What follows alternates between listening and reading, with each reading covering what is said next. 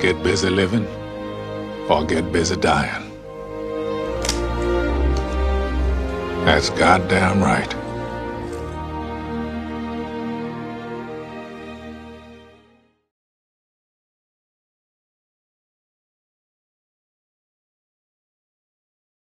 structures or whatever the means of survival is.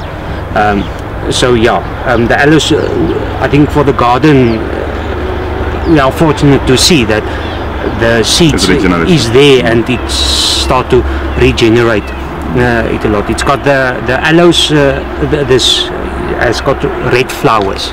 So in the time that the aloes uh, were big and it flowered, uh, it was a beautiful display. But in fact, this was actually the, sort of the the biggest stand of these uh, uh, of, of these aloes. So that's why it was really a good show. So when they died, it was such a sad, sad, sad story.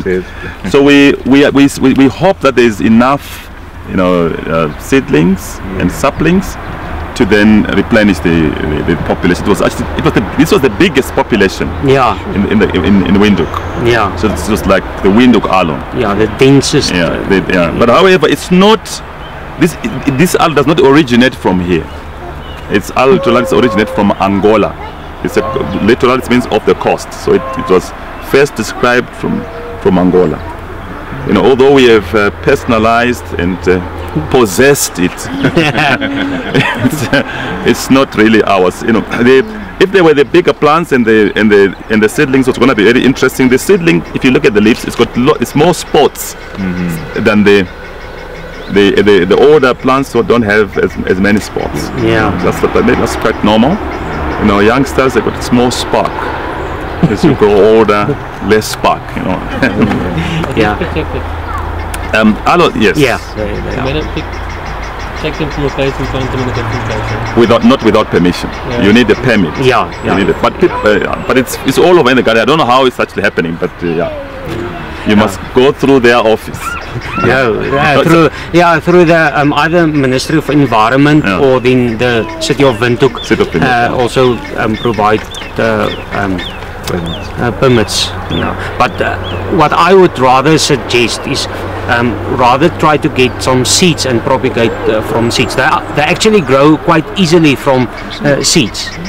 Um, and leave the uh, plants in the natural condition or uh, natural state.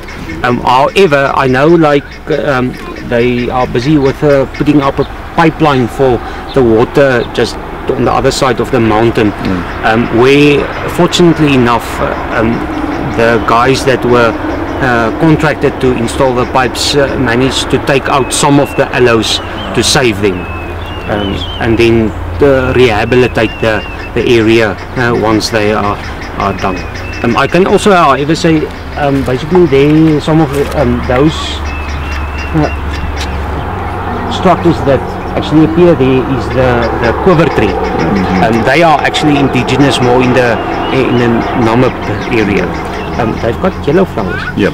Yeah. Um, interestingly, the the Windhoek aloe has got red flowers, whereas they got um, uh, yellow flower. And why they say also quiver tree is the Bushmen use the, the stem. It's um, not very hard. They take out the inner side of the of the Yeah. Trunk, basically. the trunk and then and they use it to put in their quivers. So quiver, or they they yeah, put the arrows in there. uh, arrows, yeah, the arrows. I see the mushroom, the little mushroom Well, yeah. growing there. And uh, is it is it common uh, around here? Mushrooms? Yeah, I think when, when it rains like this, Yeah. you, you get a lot of these, um, Yeah. you know, fun, you know, fungi, Fungi, yeah. mm, funky. But but they, most of these are very poisonous. Yeah, I think nearly everyone that you are seeing is poisonous. yeah. Uh, to be safe. At Yeah. my house, it's growing outside in front of my yard. Hmm. Every year there's one just coming. And they, just at that place it dies off, but at the same That place. is some, because they're spores. The spores are right just Yeah, yeah, Yeah. because it produces spores. It's also the similar like the the ferns. Uh, they reproduce by spores. By spores. It's basically then the, the seeds of the uh, of the, the mushrooms. There is a vigna, a cowpea, if you can see it, that looks like it's actually sort of. Uh, is it a creeper? What? A, a cowpea is climber. Uh-huh. It- It's, it's climbing. You know, there. It's actually this vigna. I'm looking at. The cowpea is actually it's very interesting. It normally is a lot here. This one. Yeah. So it's. Uh, it's a, it's a, it's a, it's a green relative cowpea. Oh, that's that's the one. The same. Yeah, yeah. Quite creepy, creeper.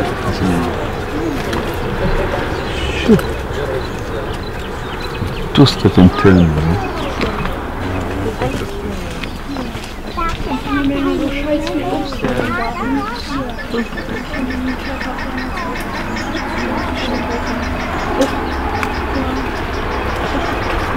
Um, that brownish structure there is actually the seeds of the boophone, the, that flower or fan type um, bulb that we saw there on the other side.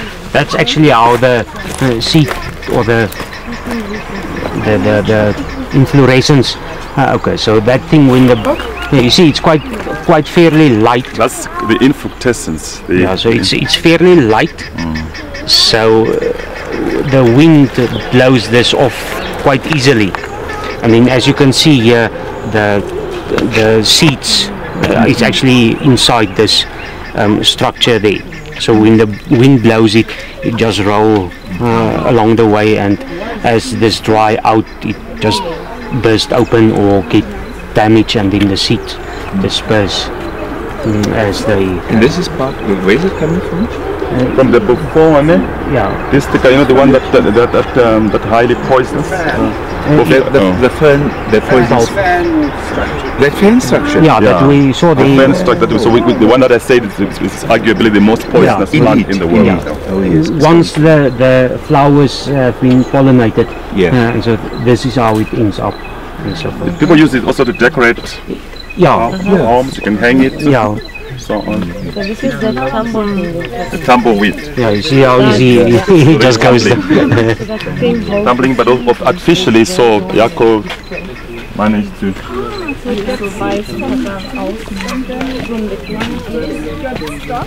Yeah.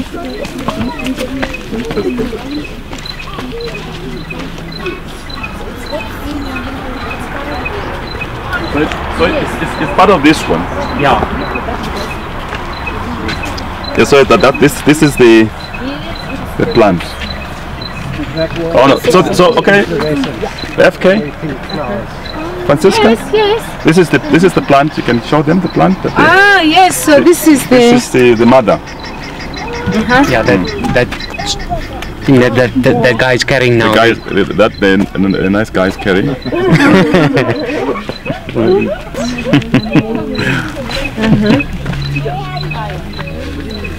things that come. Listen. I can put it. Oh, share, share, share that information. The name is gone now. Which one? Tell me. some of the Puntias as well. What? Puntia. Oh yeah, you, you can. You, you, Jaco will, he, will, he hates these things, so he's gonna. he's gonna tell you about what he hates. Just just to just to um, keep in mind that unfortunately the the people brought really really invasive plants um, into the country. Now this um, It's one of them. is one of the, the what they call the Opuntia. Now it's uh, also a, a succulent uh, plant. And there is a smaller one with like in the roundish Yeah. flat uh, leaves. When I see one, I will Devil's hops or something. uh, I will show you. Opuntia is the botanical name. Um, I'm not too sure, uh, but I guess the, the, the birds disperse the seeds very easily. Um, and especially in this section of Windhoek, um, it is very invasive in such an extent that it actually, all completely. yeah, it takes over the natural, the indigenous undergrowth. Um, so that is why it's invasive, why we don't want it, um, because um, it competes with the nutrients, the uh, insects, the well, actually the natural food for the birds and so forth um, is taken away Yeah. because of that. Um, it's a bit tough to eradicate. Um, if you break off a piece and you drop it there, It germinates. it just grows out again. Um, I've um, one get different species of them. Some of them are thick like this, and they grow quite tall. Um, there was once a guy, maybe they he might be here, but I once had a guy who that took part of that tall, uh, fleshy structure and he put it on the uh, interlocks for eight months. It stayed there. And once the rain came it started to grow again. So it's really die, tough. are it's tough. a never die or don't die easily type of uh, plant. And fortunately for the botanical garden um, there are often days or then the workers in here they come and they remove the stuff and take it uh, to the rubbish dump um, it can be treated chemically, but then one needs to be um, real cautious. uh, for example, not to uh, um, spray the the aloes because the chemical uh, that is used might um, kill the the um, aloes, for example, as well. Um, most probably, although a bit labor intensive, is to um, yeah do mechanical uh, control. And uh, if one the I, I would suggest the best way to kill these things is to really bury them like more than a meter deep um, so that they don't get moisture and uh, sunlight to grow.